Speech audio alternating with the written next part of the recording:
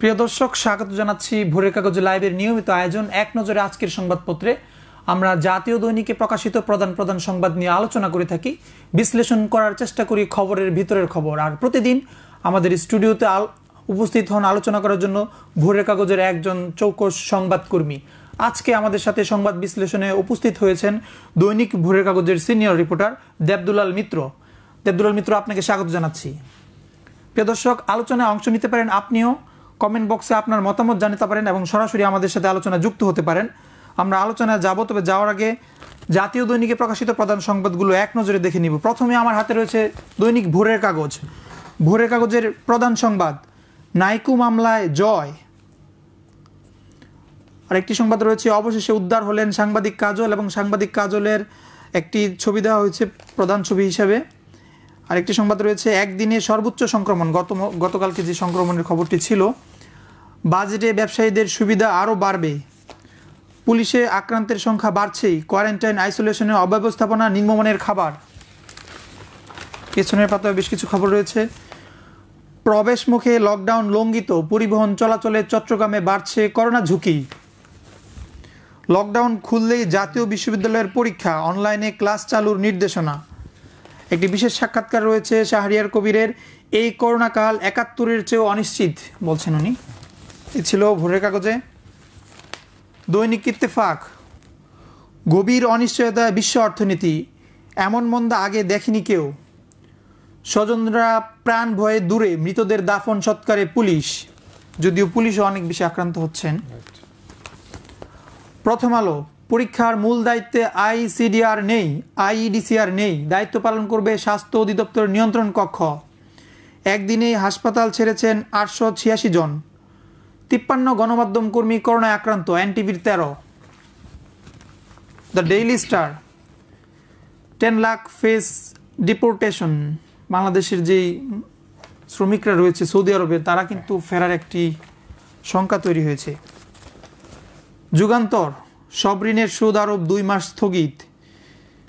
মাঠে মাত্র পাঁচশো মেডিকেল টেকনোলজিস্ট চ্যালেঞ্জের মুখে করোনা পরীক্ষা। কালের কণ্ঠ। পরিবহন শ্রমিকদের পাশে নেই চাঁদায় পুষ্ট নেতারা। সমকাল। সুস্থতা ও নমুনা পরীক্ষায় পিছিয়ে বাংলাদেশ। রেকর্ড সংক্রমণ ও সুস্থতার একদিন। গতকালকের যে দিনটি। দেশ রূপান্তর। পরীক্ষার জন্য কেন্দ্রে কেন্দ্রে নিরুপায় মানুষ। ক্ষতিপূরণ দিতে হবে নাইকোকে। বাংলাদেশ প্রতিদিন গভীর সংকট আসছে সামনে। বণিক বার্তা, সব ব্যাংক ঋণের সুদ সব ব্যাংক ঋণের দুই মাসের সুদ স্থগিত। এবং সবশেষ আমার হাতে রয়েছে the daily observer. Remittance inflow declined in April by twenty six percent. May go further down. আমরা কিন্তু রেমিটেন্সের ফ্লো কমছে এবং সামনে আরও কমবে বিশ্ব। প্রিয় দর্শক আলোচনায় অংশ নিতে পারেন আপনিও। কমেন্ট বক্সে সরাসরি আপনার মতামত জানাতে পারেন। আমরা আলোচনায় যাব। আমরা যদি আসলে নাইকো মামলার যে জয় দুই হাজার পাঁচ সালে ট্যাংরাটিলা গ্যাস কেন্দ্রে বিস্ফোরণের ঘটনায় এক বিলিয়ন ডলার ক্ষতিপূরণ পাবে বাংলাদেশ। আমি একটি সম্ভাবনার জায়গা তৈরি হয়েছে এই মামলায়, জয়ের মাধ্যমে। এই বিষয়টি নিয়ে যদি আসলে বিস্তারিত একটু বলতেন। আপনি তো এনার্জি নিয়ে কাজ করছেন দীর্ঘদিন যাবত ধন্যবাদ। আসলে দেখা গেছে যে এই নাইকোর বিস্ফোরণের ঘটনা যখন ঘটে, সেই ট্যাংরাটিলাতে যখন ঘটনাটা ঘটে দুই হাজার পাঁচ সালে, তো তখন এটা একটা বিশাল একটা আলোচিত একটা ঘটনা ছিল। এটা নিয়ে সংবাদপত্র প্রতিদিন গণমাধ্যমের এটা, সেটাই ছিল লিড নিউজ ছিল আর কি। তো বিষয়টা আলোচিত।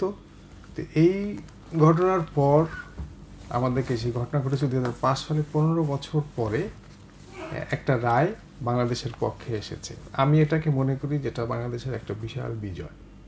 এবং বাংলাদেশের যে ঐক্যবদ্ধভাবে সবাই যে ঐক্যবদ্ধভাবে এই মামলাটা নিয়ে লড়াই করেছে যে এক্সিডের কাছে বারবার দিয়েছে, তারা লবিস্ট নিয়োগ করেছে, পরামর্শক নিয়োগ করেছে এটা সম্মিলিতভাবে সবাই কাজ করেছে বলেই আজকে এই জয়টা এসেছে।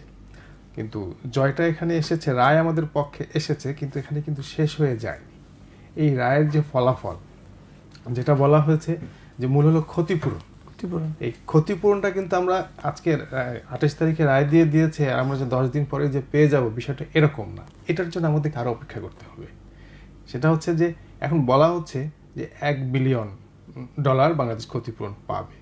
কিন্তু বর্তমান যে অবস্থা, যে পারিপার্শ্বিক পরিবেশগত যে অবস্থা জীব বৈচিত্র্য যে অবস্থা সব কিছু জরিপ করতে বলা হয়েছে। এক্সিটের পক্ষ থেকে বলা হয়েছে সেটা জরিপ করার জন্য।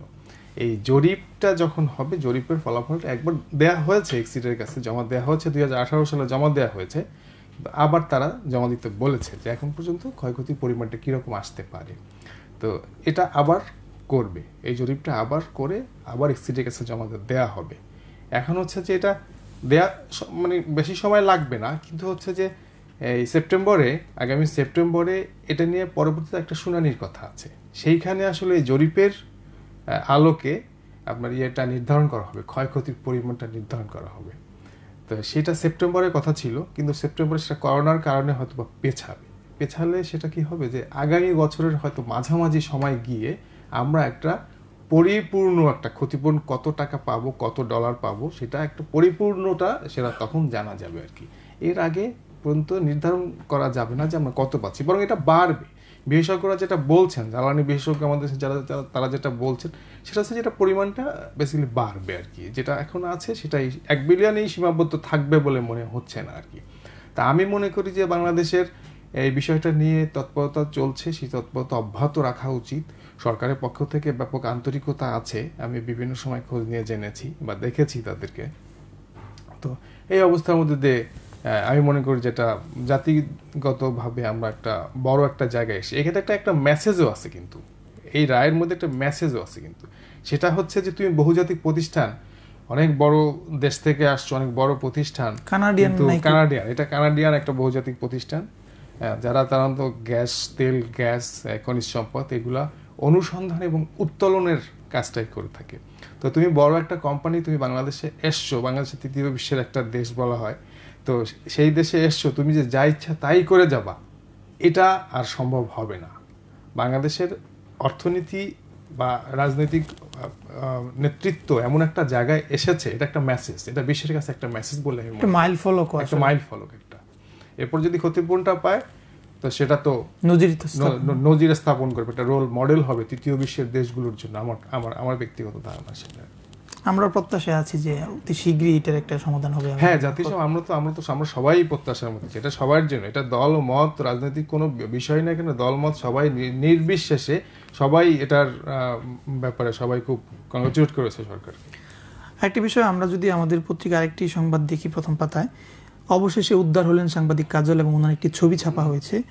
কাজল নিয়ে আসলে অনেক আলোচনা হচ্ছে। আপনি জানেন যে গতকালকে আমরা বিশ্ব মুক্ত গণমাধ্যম দিবস পালন করেছি। এমন একটি দিবসে যে সাংবাদিক ঘুম ছিলেন উনি উদ্ধার হলেন এবং ওনাকে অনুপ্রবেশের দায় আবার মামলা দেওয়া হলো। জামিন হলো হ্যাঁ, বিষয়গুলো আসলে কাজলের বিষয়টা দেখেছি বেশ দেড় মাস বোধহয় হতে চলল। দেড় মাস পরে বোধহয় সে উদ্ধার পেয়েছে আর কি যেভাবে হোক। আমি জানি না পেছনের ঘটনাটা কি। কারণ যে যে জিনিসটা সবচেয়ে যে ছবিটা তো দেখা যাচ্ছে যে জিনিসটা সবচেয়ে বেশি আমি আমি আমি আমি শক্ট হয়েছে যে সেটা হচ্ছে যে একজন সাংবাদিক সে পরিচয় দিয়েছে, তারপরেও তার হাতে হ্যান্ডকাপ পরা। একটা আইন আছে, এটা জাস্টিস শাহাবুদ্দিন আহমেদের সময় একটা আইন করা হয়েছিল, আমার, আমি, আমার যতটুকু মনে পড়ে বা তার কিছু পরে, সেটা হচ্ছে যে কোনো সাংবাদিকের বিরুদ্ধে কোনো অভিযোগ আসার পরে, ওই সাংবাদিককে অ্যাটলিস্ট আদালতে হাজির করতে হলে বা ওই হ্যান্ডকাপ পরানো যাবে না। এইটা এই সম্মানটা তাকে দেয়া হবে। এ ধরনের একটা আইন আছে। আমি জানি না পুলিশের কর্তা ব্যক্তি যারা আছেন হ্যাঁ, তারা কি এই আইনের ব্যাপারে সচেতন কিনা? বা যারা ওখানে দায়িত্ব পালন করেছেন যেসব পুলিশ সদস্যরা তারা সচেতন কিনা? মানে এই অবস্থায় একজন সাংবাদিককে আসলে দেয়াটা মানে আদালতে নিয়ে যাওয়া বা জনসম্মুখে হাজির করা এটা আমি মনে করি যে গণমাধ্যমের জন্য শুধু নয় এটা রাষ্ট্রের জন্যই হ্যাঁ, একটা এই ব্যাপার হবে এটা আর কি। দুর্ভাগ্যজনক ব্যাপার হবে। কারণ এটা সবাই দেখছে, এটা বিশ্বের দেখছে। কোনো দেশে এরকমভাবে কোনো সাংবাদিক এভাবে হেনস্থা করা হয় না। কারণ সাংবাদিক পালিয়ে যাবে না, যত যত বড় অপরাধী করুক না কেন সে। হ্যাঁ তো কাজলের এই বিষয়টা আমাকে সবচেয়ে বেশি, আমি জানি না তার পেছনের অপরাধ কি, সে কি জন্য অভিযুক্ত, সে কোথায় ছিল এতদিন, সেগুলো তদন্তে বেরিয়ে আসবে। কাজল বলবে কাজল একজন পরিচিত ফেস সে পালিয়ে যাওয়ার মতো লোক না, কোনো একটা সমস্যা পড়েছিল বলেই হয়তো ওই পরিস্থিতিতে গিয়ে কাজল পৌঁছেছে। তো সেই অবস্থায় আমি মনে করি যে হ্যান্ডকাপ পরানোর যে বিষয়টা ছিল, এটা খুবই দৃষ্টিকটু ছিল এবং এখানে পুলিশের কোনো আইনশৃঙ্খলা রক্ষাকারী বাহিনীর কোনো সদস্যদের কোনো সচেতনতা এখানে ছিল না, যথেষ্ট অভাব ছিল বলে আমি মনে করি। একটা বিষয়, আপনি তো আসলে বিদ্যুৎ, জ্বালানি, খনিজ সম্পদ নিয়ে কাজ করেন, পাশাপাশি আপনি কিন্তু পরিবহন শ্রমিকদেরকে নিয়েও কাজ করেন। পরিবহন সেক্টরের একটি রিপোর্ট যদি আমরা দেখি যে পরিবহন শ্রমিকদের পাশে নিয়ে চাঁদায় পুষ্ট নেতারা কালেকণ্ঠের লিড নিউজ আমাদের পত্রিকাতেও কিছুদিন আগে এমন রিপোর্ট গিয়েছিল, প্রকাশিত হয়েছিল। বছরে তোলা হয় কমপক্ষে দুই হাজার কোটি টাকা, সত্তর লাখ শ্রমিকের জন্য বিভিন্নভাবে কল্যাণ তহবিল গঠন করা হয়, কিন্তু তারা আসলে সেই কল্যাণ তহবিল পাচ্ছে না। তাহলে এই লকডাউনের সময় আসলে শ্রমিকদের কি হবে? আচ্ছা এই বাংলাদেশের শ্রমিকদের, পরিবহন সেক্টরের শ্রমিকদের মানে কোনো শ্রমিকদেরই তো সেরকম কোনো সেটাকে কি বলা যায় যে ভবিষ্যৎ, যে একটা সমস্যায় পড়লে পরে যে হুট করে যে সহযোগিতা পাওয়া মালিকের কাছ থেকে এটা নেই। পরিবহন শ্রমিকদের ক্ষেত্রে হচ্ছে দুর্দশা আরও বেশি। এদের কোনো প্রভিডেন্ট ফান্ড নেই হ্যাঁ এদের কোনো মাসিক বেতন নেই হ্যাঁ, এদের চিকিৎসার কোনো ভাতা নেই এদের সন্তানদের জন্য শিক্ষা খাতের কোনো কিছু কোনো কিছুই নেই। এটা সরকারের পক্ষ থেকেও যেমন নাই সেটা মালিক পক্ষের কাছ থেকেও নাই। মালিক সমিতি মালিক শ্রমিক সমিতি শ্রমিক কল্যাণ সমিতি এরকম বিভিন্ন নামে বাসগুলো যখন রাস্তায় ঢাকা শহরে চলে বা আন্তজেলা যে বাসগুলো চলে, সেগুলোকে আমরা দেখি। দশ টাকা, ঢাকা শহরে দশ টাকা, বিশ টাকা, তিরিশ টাকা, এভাবে করে চাঁদা উঠে আর যেগুলো ঢাকার বাইরে চলাচল করে সেগুলো তো শত শত টাকা চলাচল করে। মানে মানে চাঁদা উঠে আর কি। তো এই যে চাঁদার যে পরিমাণটা যেটা উঠে, এই টাকাটা কোথায় যায়? আমি বিভিন্ন সময় বাসে যাওয়ার সময় আমি জিজ্ঞেস করি যে, এই যে চাঁদাটা যে দিলা, এই চাঁদাটা কোথায় যাবে? মালিক সমিতির অফিসে যাবে। তো মালিক সমিতি তোমাদের কি কোনো কল্যাণ কি আছে? তোমরা কি পাও তো বলে, না, আমরা কিছু পাই না। এটা পরিবহন শ্রমিকরাও এ কথাটা বলে। তা আমি মনে করি যে, সবসময় যেরকম চলে চলে।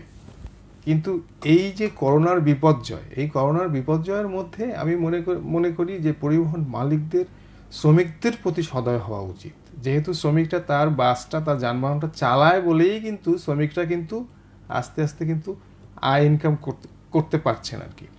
শ্রমিকরা যদি কাজ না করতো, তাহলে কিন্তু এটা কিন্তু হতো না। তো শ্রমিকদের যে কল্যাণের বিষয়টা, সেটা কখনোই ছিল না, এখনও নাই।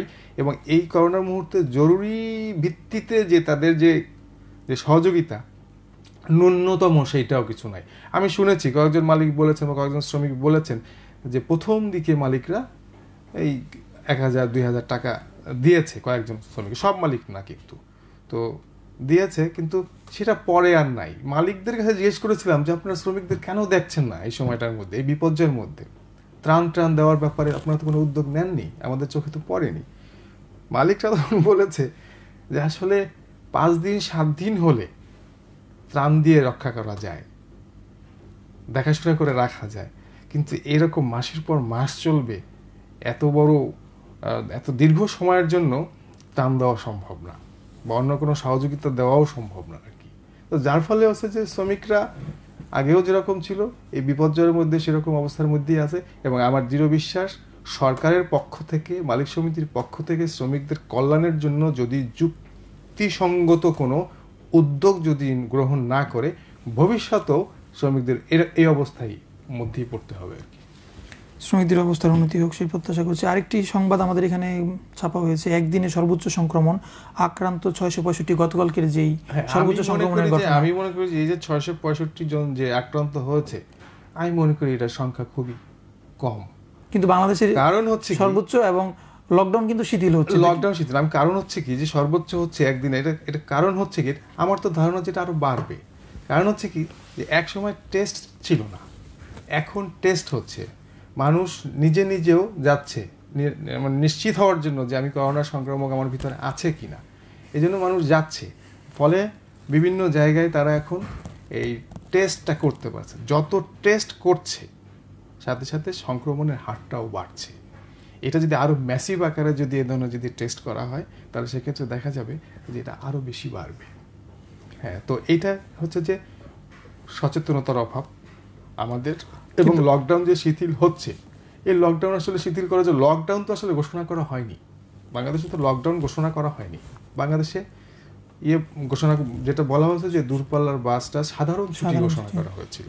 কারণ সাধারণ ছুটি আর লকডাউন এক জিনিস না সাধারণ ছুটির মধ্যে আমি ঘর থেকে বেরোতে পারি। কিন্তু লকডাউন যদি ঘোষণা করা হতো সেক্ষেত্রে ফোর্স করতে পারতো আমার উপরে। কিন্তু এখন আমার উপর ফোর্স করতে পারছে না। এটা যদি ফোর্স অ্যাপ্লাই যদি না করে এই কালকের যে অবস্থা, আপনার গত দুই দিনে ঢাকা শহরের যে অবস্থা বা ঢাকার আশেপাশে যে মানুষ যে আসছে, বিশেষ করে গার্মেন্টস শ্রমিকরা যেভাবে আসছে, এরকম যদি শুধু গার্মেন্টস শ্রমিক না, অন্যান্য সেক্টরের যারা আছেন, এই যে হকার হ্যাঁ তারপরে ডে লেবার, এরাও যদি এভাবে যদি চলে আসে আর যদি রাস্তায় বের হয়, আপনি তাহলে চিন্তা করেন, এখানে সংক্রমণের বিস্ফোরণ ঘটবে বলে আমি মনে করি আর কি। তো এ ব্যাপারে আমি মনে করি যে এই মুহূর্তে লকডাউন শিথিল করাটা একদমই উচিত হবে না। এতে সংক্রমণ বাড়বে ছাড়া কমবে না। এটা কোনো চিকিৎসা নাই। এটা কোনো চিকিৎসা হাসপাতালে জায়গা নাই। শ্বাসকষ্ট নিয়ে শ্বাসকষ্টের কারণেই তো মূলত টেকনোলজিস্টের অভাব দেখা যাচ্ছে মাত্র পাঁচশো টেকনোলজিস্টের অভাব বাংলাদেশের টেকনোলজিস্ট ফিজিশিয়ান সব কিছু নার্স সব কিছুর অভাব আছে। আপনি দেখেন গভর্নমেন্ট কয়েকদিন আগে বলেছে যে নার্স নিয়োগ করা হবে। দুই হাজারের বেশি নার্স নিয়োগ করা হবে তারপর ডাক্তার নিয়োগ করা হবে। এটা তো পদ তো খালি আছে। গণমাধ্যমে বিভিন্ন সময় আপনার নিউজ হয়েছে যে ডাক্তারের এত পদ খালি, নার্সদের এত পদ খালি, সেগুলো কেন নেওয়া হয় নাই? এই যে ফার্মাসিস্ট সেগুলো কেন কেন কেন এতদিন পর্যন্ত নেওয়া হয় নাই? আমি মনে- করি যে এগুলো নিয়ে গাফিলতি আছে আমাদের। সবারই একটু গাফিলতি। সংশ্লিষ্ট যারা আছেন তাতে গাফিলতি আছে। এই গাফিলতির কারণেই হচ্ছে যে এই অভাব সব কিছুতে একটা অভাব অভাব বোধ এটা দেখা দেয় আর কি।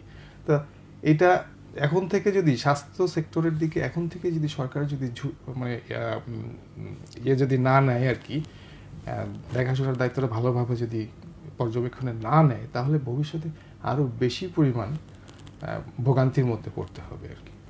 আমরা উতরে যাওয়ার জন্য সেই চেষ্টা করতে করবেন হ্যাঁ, ব্যক্ত করছি। আপনাকেও ধন্যবাদ জানাচ্ছি আমরা শেষ করতে হচ্ছে। প্রিয় দর্শক, যে যেখানে থাকুন, সুস্থ থাকুন, ভোরের কাগজের লাইভে আমাদের সাথে সংযুক্ত থাকুন এবং ফেসবুকে আমাদেরকে ফলো করতে পারেন ইউটিউবে আমাদেরকে সাবস্ক্রাইব করতে পারেন ইউটিউব ডট কম স্ল্যাশ ভোরের কাগজের লাইভ এই ঠিকানায় ফেসবুক ডট কম স্ল্যাশ ভোরের কাগজের লাইভ এই ঠিকানায় এবং সুস্থ থাকুন, নিরাপদ থাকুন, সামাজিক দূরত্ব বজায় রাখুন, তাহলে আমরা এই জাতীয় সংকট মোকাবেলা করে স্বাভাবিক জীবনে ফিরতে পারব। সেই প্রত্যাশায় আজকের মতন বিদায় নিচ্ছি। আগামীকাল একই সময় অন্য কোনো অতিথিকে আবারও নিয়ে আমরা হাজির হব সংবাদ বিশ্লেষণে। সে পর্যন্ত ভালো থাকুন।